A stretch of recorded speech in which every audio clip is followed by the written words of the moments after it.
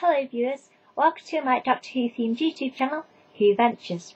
And in this video, I'm going to show you Doctor Who Adventures magazine, issue 244, and it's dated the 17th to the 23rd of November 2011, and it's £2.50.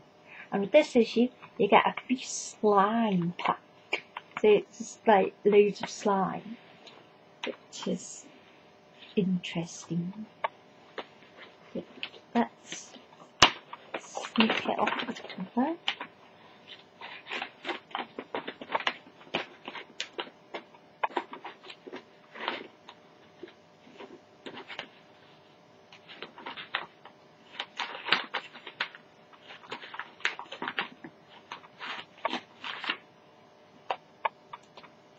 So this is the slime. I shall inspect the slime.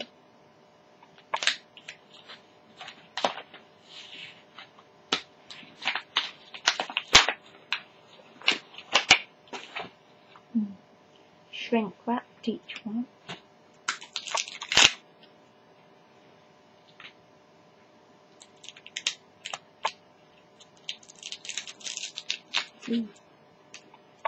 So this is the. Ew. So it's really wet and watery, it's not solid stuff. And it leaves a bit of a residue.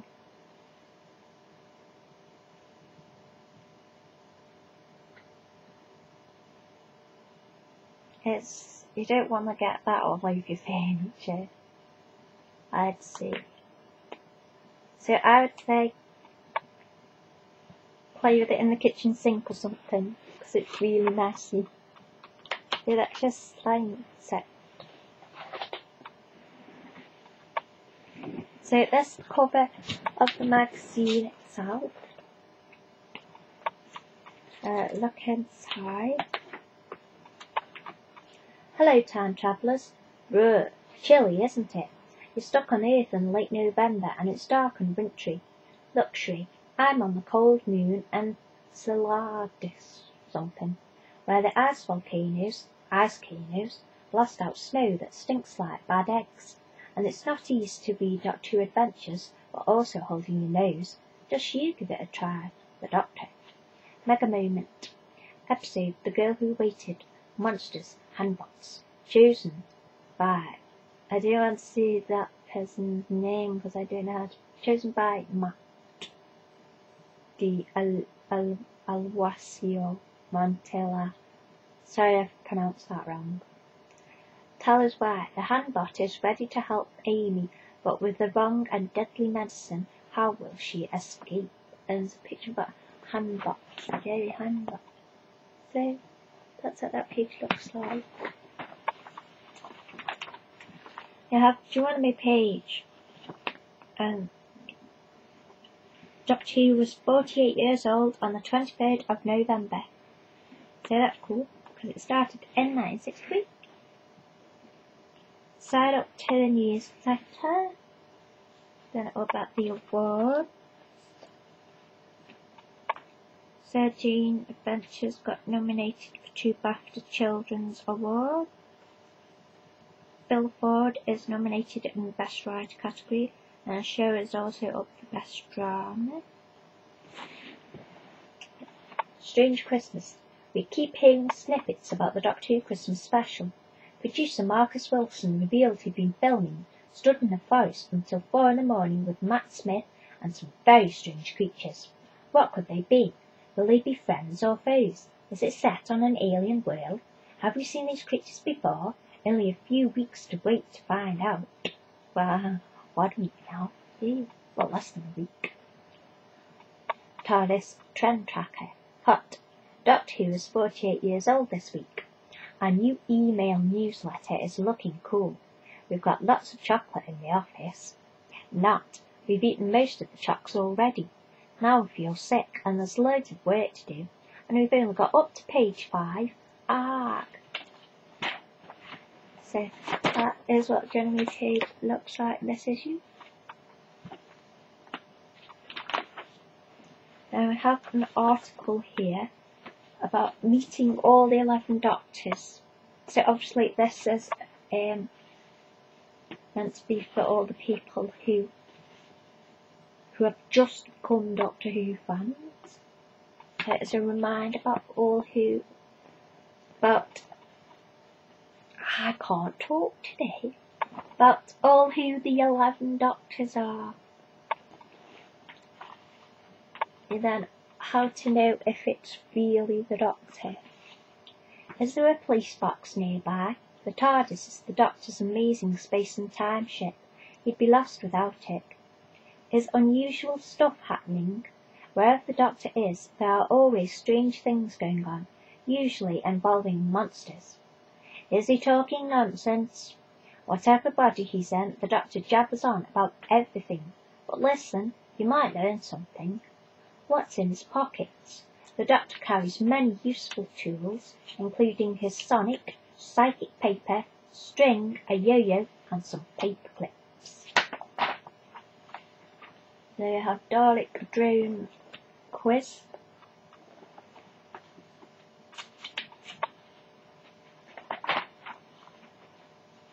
And an interview with Matt Smith talking about Series 6 and what's coming up. And a picture of him with his long hair.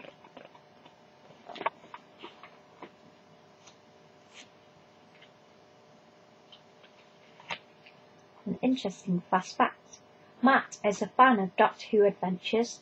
He says, I love seeing the magazine and I always want to play with the gifts. They're so cool. Thanks, Matt. Yay.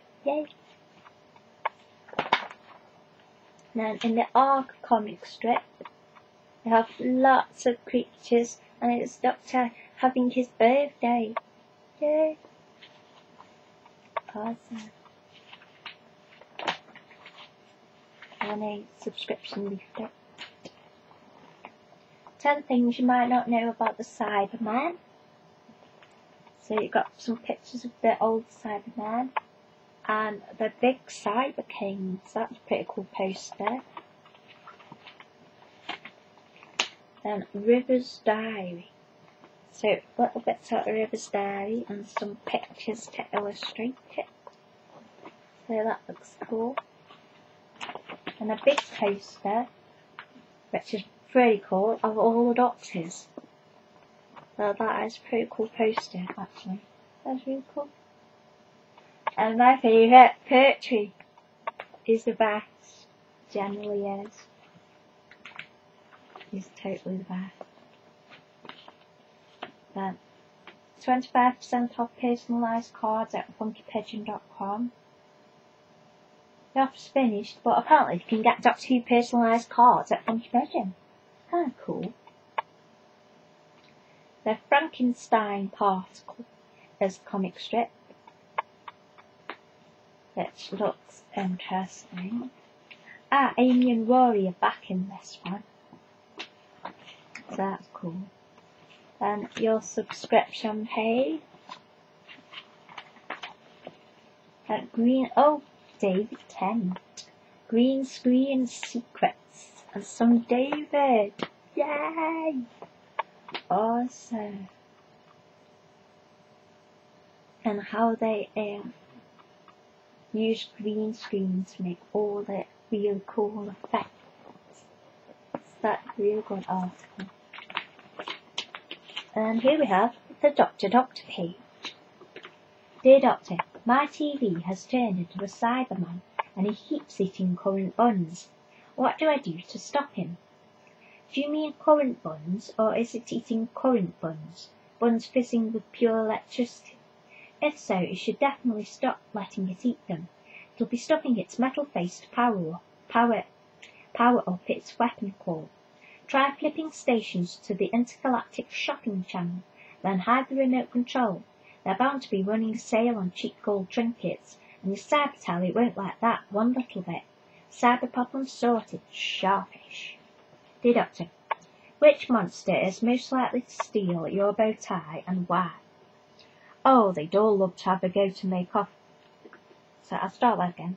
The doctor replies, Oh, they'd all love to have a go to make off with my dicky bow. Autons like dressing up. so I wouldn't put it past them. And the absorbed lots of Clon like to look smart if they're in disguise, not so much when they're running about in their dirty underpants. Headless monks less than likely, not having much of a neck left to tie a tie round. There's not much chance of anyone stealing my ties anyway, as you're all fitted with a clever sonic burglar alarm in the bow. Better to be safe than uncool, eh, kids? Dear Doctor, it's hard for me to sleep. Every night I see flashing yellow and green lights that dance around the room. Tell me, is it aliens or ghosts? And how can I stop them so that I can rest for once? Ravens from the Smiley Nebula, neither alien nor ghost, more a higher state of consciousness.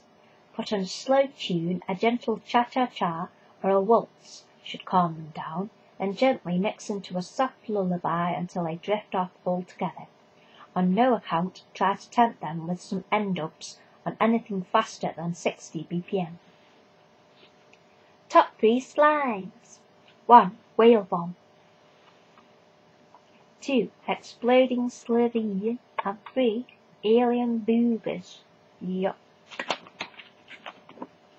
Upload page has a Dalek creation made out of autumn things they found and cool pictures of the silent TARDIS, Daleks. Who made TARDIS console? and dressed as a Doctor Who pig. And packaging, that's pretty funny. And the Monster Crime Watch, because the silence. the evidence says I drive. Crime scene, Joy. Crime scene, Gantok. Crime scene, Cavarian. And apparently they're not guilty. Because the Dean's forgotten all about them. Then you've got eye puzzles. Then you've got Ultimate Dalek Collection, Original Dalek. First seen in the first Doctor episode, The Survivors, 1963. So that's cool. Then next week you've got Monster Monster Bumper issue. There's loads of goodies in it. And who said, when's the council going to fix this? Last night my telly went off in the middle of top mod. Sure. Find out next week. Last week's answer was Canton and the Impossible Astronaut. I got that right. This particular issue. Yay! Thank you for watching.